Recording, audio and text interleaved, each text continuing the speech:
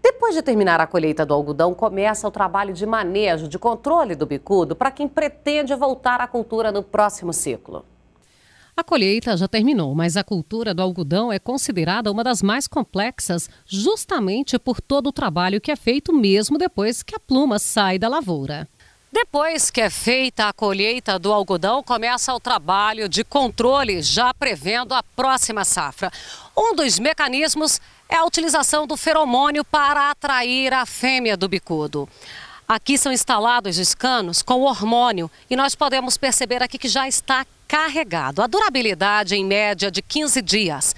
A partir disso, novas instalações como essa são feitas no intervalo entre elas. Aqui foram colocadas a cada 100 metros, em toda a extensão que margeia a lavoura. Desta forma, não vai permanecer a praga para a próxima lavoura, quando começa o manejo tudo outra vez.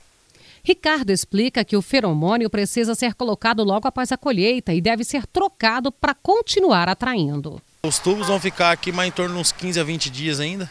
A gente vai, igual você havia falado, a gente vai trocar agora, colocar no intervalo mais um tubo aqui e daí vai encerrar a próxima safra.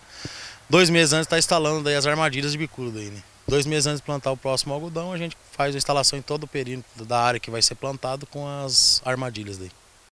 Naturalmente que esses custos não ficam nem um pouco baixos. Esses são os investimentos que encarecem tanto a cultura do algodão, mas são necessários.